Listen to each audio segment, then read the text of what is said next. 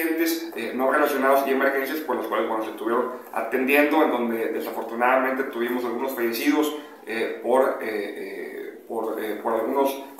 accidentes vehiculares en los que bueno, se puede presumir que quizás las personas venían alcoholizadas, ya que en, en, ambos accidentes se encontraron bebidas, botes, de, de botes y contenedores de bebidas alcohólicas abiertos a los mismos vehículos, por lo cual se puede presumir que este fue uno de los factores eh, importantes para que sucedieran estos accidentes. Tuvimos eh, una, una, volcadura en el libramiento sur 2, donde tuvimos dos personas fallecidas, tuvimos también eh, una persona atropellada en el viaducto, y bueno, pues ahorita con estas lluvias que tenemos, invitar a la ciudadanía a bajarle la velocidad a nuestros vehículos, a utilizar siempre nuestros cinturones de seguridad y muy importante, si ven que eh, quizás ya ha crecido la corriente de agua en alguna calle o avenida,